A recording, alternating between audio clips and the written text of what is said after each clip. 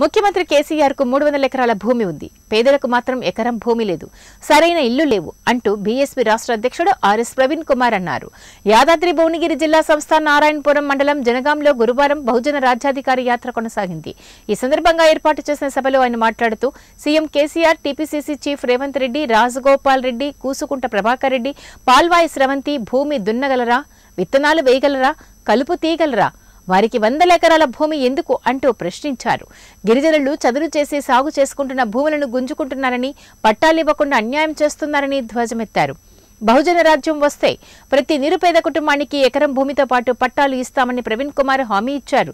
కేసీఆర్ ప్రభుత్వం యువతకు నాణ్యమైన విద్య ఉద్యోగాలు ఇవ్వడం లేదని నాయకులు మాత్రం విదేశాల్లో కూడా వ్యాపారం చేసుకుంటూ కోట్ల రూపాయలు సంపాదిస్తున్నారని దుయ్యబట్టారు. ఓట్ల సమయంలో పేదలకు డబ్బు మద్యం పంచి ఎన్నికల అనంతరం అభివృద్ధికి దూరంగా ఉంచుతున్నారని విమర్శించారు. ఈరోజు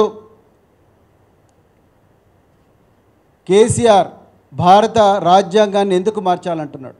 ఈరోజు కేవలం తెలంగాణ ప్రజలకే కాదు యావత్ దేశానికి ఆయన వివరించి చెప్పాల్సిన అవసరం ఉన్నది. ఈరోజు ఎవరి వల్ల తెలంగాణ అవతరించింది?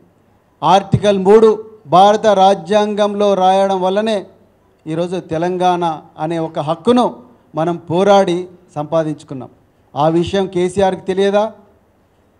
అదేవిధంగా మరి ఈరోజు ఒక ముఖ్యమంత్రి